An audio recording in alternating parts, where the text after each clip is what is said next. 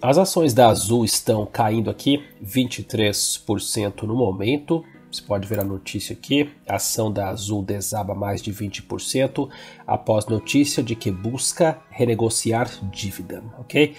Equipe Infomoney, vou deixar o link aí da notícia aqui na descrição do vídeo e você também pode ver aí o vídeo que eu havia feito em relação aos resultados da Azul do 2T24, ok? Está aqui também na sequência deste vídeo no final e também o link aí na descrição para você poder observar.